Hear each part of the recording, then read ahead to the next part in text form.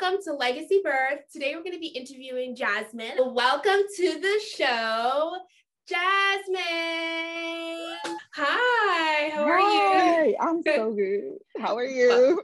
I'm good. Welcome, welcome, welcome to mm-hmm, Legaci Thank Birth. you. We are so happy to have you. For those of you guys who are wondering, this is Jasmine, and she had a live unmedicated birth. And a lot of you guys watched this video and were really impressed with her laboring through. And your birth was almost like it was like watching a marathon because we really got to see you like really pushing for such like a long period of time it was like this built up experience. So once the baby was born, it was like we were really like there with you. Why did you decide to have a natural birth? I decided to have a natural birth because my first birth I had when I was 23 years old. I didn't know anything about anything. I did. I wasn't planning on having children, so it was unexpected. And so I just went with what, you know, everybody knows. Mm-hmm. And it didn't go like it was traumatizing. So okay. it made me change my mind because I wasn't asked if I wanted an epidural my first time and they just gave me one. And it was just, I was in labor for so long, like 12 hours. I was in so much pain. I had toured. The healing process was horrible. And it, I just, I just couldn't do it. And I was just like, this is not something I want to do again. So wow. that's what made me decide to have a natural birth. He just assumed basically that you wanted an epidural. I had my um, first child in the hospital, and they said that I was in so much pain that I had no other choice but to get an epidural. And I wasn't really educated, so I just went with the flow. wow. And I was like, knowing what I know now, I was like, no, yeah. yes. We definitely do have a choice. Yeah. Truly, you don't have to do anything. No.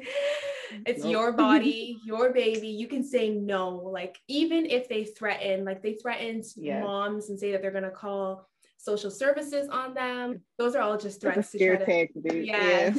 yes. so you had an epidural. What would you see the biggest difference between your epidural birth and your natural birth? I would say the time frame of being in labor and also the healing process. Okay. The epidural with my epidural, it was longer. That was my longest labor I had ever had, and that was my longest recovery I had ever had. Wow. Thank you for sharing that. I think both experience that experience made you stronger, led you to yes. This. Yes. yes. Everything's for a reason. Everything's for a reason. Yes. so, was there anything that was holding you back in your labor um, and if so, like, how did you overcome it?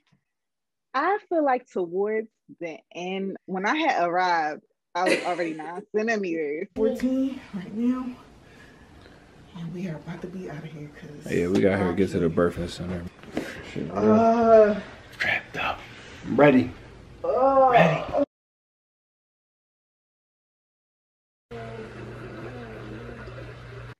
because Woo! I didn't know that I was in labor that whole day.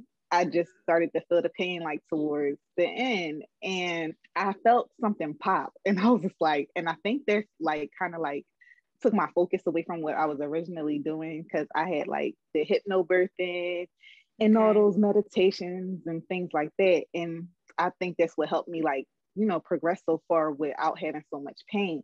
But once I heard that pop, I think it like changed my focus and I had to like tell myself like you're okay like it's gonna be okay the pain is just temporary oh.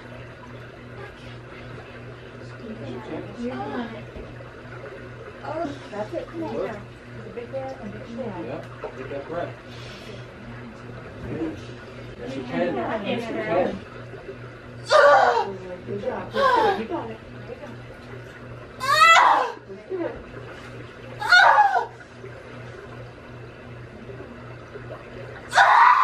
You know. and I had told myself that because um, that was my second time having a natural birth, but my first time having a water birth. And mm. I knew that the pain was temporary. So I just told myself, like, the pain is temporary. you're almost there because I was at the end and I was just like, you know, let her do what she needs to do to come.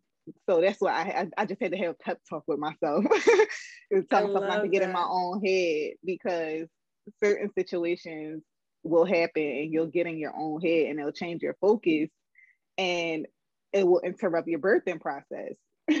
it's crazy because like while I was watching the video, I was almost seeing you going from in in and out of your head. Like you were like, I can do this, but uh, yeah.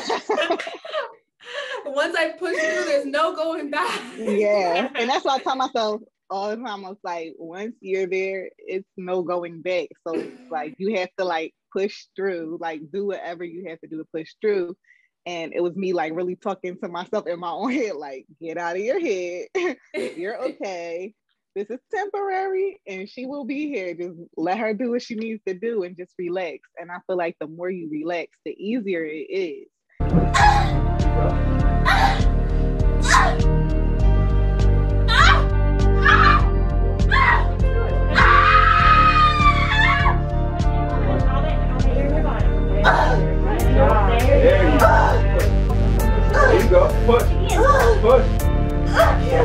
Yes, you can. Push. Push. Push. Push. It's okay. It's okay. Hey. Hey. Woo. Look. Look, baby. and you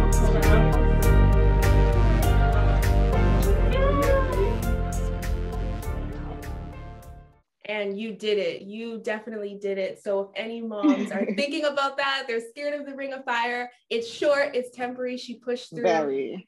She's the living example. Jasmine's Instagram is JVSMYNE underscore, and her YouTube channel is Queen of Sumlers. Thank you guys so much for watching this video. You can follow me at Legaci Birth on Instagram, as well as subscribe to this channel for subscriber only giveaways. Click that red juicy button down below, down below. It says subscribe, it says subscribe. And I'll see you in the next video.